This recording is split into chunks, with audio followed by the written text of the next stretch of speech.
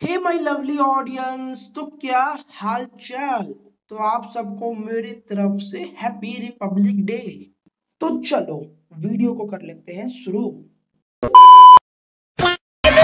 वैसे टीनेज में बच्चों को नया नया बॉडी बिल्डिंग का बहुत शौक चढ़ता है पता है? कुछ बच्चे तो अलग ही पहलवानी करने आ जाते हैं हमारे स्कूल जैसे कि मैं। हमारे स्कूल में। नहीं नहीं उनकी बॉडी वगैरह कुछ होती नहीं है। वो लोग अपनी साइज़ से दस गुना छोटा शर्ट पहन के आ जाते हैं। वो भी शान से कोई शर्म नाम की चीज़ नहीं होती थी उनके मन में। बेटा ये स्कूल यूनिफॉर्म की जगह अपनी मम्मी का ब्लाउज पहन के नहीं आ सकते हो तुम स्कूल में। और अभी तो रुको। क्लाइमैक्स अभी बाकी है।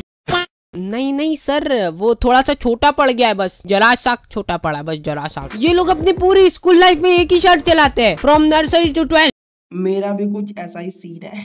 और तो और पता नहीं क्यों हमारे ही स्कूल में सारे नमूने भरे पड़े थे। मैं आराम से मूत रहा हूँ और ये लोग बेसिन पे लटक लटक के आहू कर रहे हैं।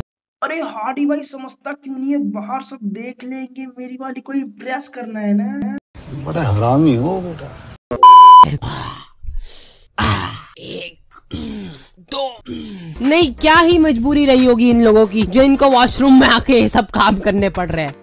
हमारे स्कूल में हाइजीन तो बहुत ज़्यादा बहुत ज़्यादा था। हमारे यहाँ जिस वाटर कूलर से बच्चे उचक उचक के पानी पीते थे ना वाह कितना ठंडा ठंडा पानी ठंडा पानी। के पाउच उसमें ही हम लोग वॉशरूम के हाथ धोते थे। कोई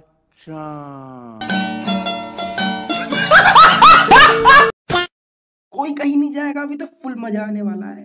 पर फिर हम लोगों को थोड़े टाइम में बहुत गिल्ट महसूस हुआ कि बच्चों के साथ ऐसा खिलवाड़ नहीं करना चाहिए। इसलिए हम लोगों ने उस कूलर को वॉशरूम की तरह ही इस्तेमाल करना चालू ओ भाई। जब भी हम लोगों का वॉशरूम में जाने का मन नहीं होता था तो हम लोग वाटर कूलर में ही मुद्दा करते थे। तो फिर एक बार इनमें से एक लड़के से मेरी लड़ाई हो गई। तेरा मुँह तोड़ के हाथ में दे दूँगा और हाथ तोड़ के मुँह में। अरे चमन तू तो मेरा जिगरी दोस्त है यार है ना? ओ कमर। नहीं नहीं नहीं!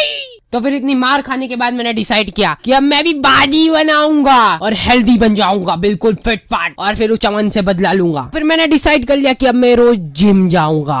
हार्डी भाई हमारे इधर पाँच सौ रुपए महीना क्या कहते हो? खोपड़ी तोड़ खोपड़ी तोड़ साले का। ओके तो फाइनली डी एंड हो चुका है तो मिलते हैं नेक्स्ट पार्ट में।